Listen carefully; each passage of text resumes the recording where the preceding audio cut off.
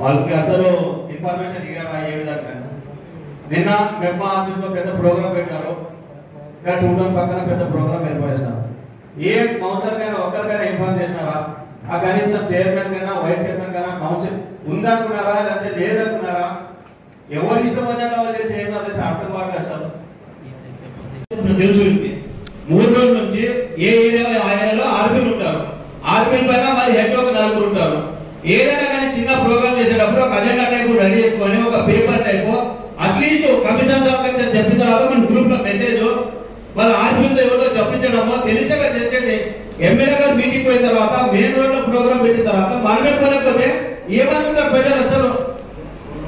ఎంత cheap purpose చేసి అంత పెద్ద మంచి ప్రోగ్రామ్ పెట్టిన తర్వాత మెయిన్ రోడ్ పైన అంత పెద్ద ప్రోగ్రామ్ చేసిన తర్వాత ఒక కౌన్సిలర్ లేదు ఒక చైర్మన్ ఒక పిలిచిన ప్రతిసారి నేను మన కౌన్సిలర్ ప్రతిసారి ఇదే పరిస్థితి ఆల్రెడీ ఎమ్మెల్యే మన మన మన కూడా పోయినాం వేరే ప్రోగ్రామ్లో ఆల్రెడీ ఎమ్మెల్యే వస్తున్నాడు ఎమ్మెల్యేతో పాటు వీళ్ళు గొర్రెల లెక్కలు వస్తారు అనుకునిందేమో ఆయన మనసులో. లేదు మేడం అది ప్రోగ్రామ్ అంటే లేకపోతే నెక్స్ట్ టైం నుంచి చెప్పలేదు నువ్వు చెప్పు ఇప్పుడు చెప్పు. సమాధానం. ప్రతిసారి నేను మన కౌన్సిలర్ ప్రతిసారి ఇదే పరిస్థితి ఆల్రెడీ ఎమ్మెల్యే మన మన మన కూడా పోయినాం వేరే ప్రోగ్రామ్లో ఆల్రెడీ ఎమ్మెల్యే వస్తున్నాడు ఎమ్మెల్యేతో ఏం ఎమ్మెల్యేతో పాటు కౌన్సిలర్ ఉన్నారా అనుకోరా? ఏదైనా ఒక ప్రోగ్రామ్ మనం డిసైడ్ చేస్తున్నామంటే ఒక పదిహేను రోజుల నుంచో ఇరవై రోజుల నుంచో నెల రోజుల నుంచో దానికి కాపీ ఏదో ఉంటది.